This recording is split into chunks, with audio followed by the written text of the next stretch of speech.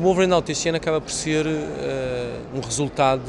eu acho que muito eficaz, uh, do trabalho desenvolvido pelos alunos ao longo do, deste ano letivo 12-13 em diferentes cadeiras, nos diferentes cursos que integram o Departamento de Cinema e Multimédia. A abertura da exposição aqui, a inauguração da exposição aqui na LX Factory, acaba por assinalar a abertura de uma semana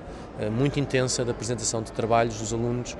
ao público em geral, mas também um momento para os alunos entre si conhecerem os trabalhos todos desenvolvem e, obviamente, poderem ter um momento de crítica e de apreciação dos seus trabalhos. Nós, de facto, vemos uma grande evolução dos alunos do primeiro até o terceiro, é, de facto é enorme uh,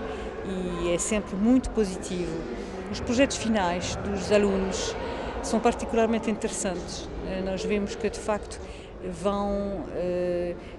um bocadinho afastar-se do conceito da fotografia pura e dura Uh, e vão realmente ligar a fotografia à arte plástica, mas não só, também podem fazer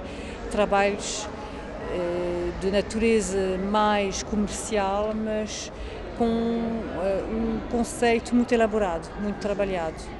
muito pensado e é o resultado muito positivo do, do curso de fotografia.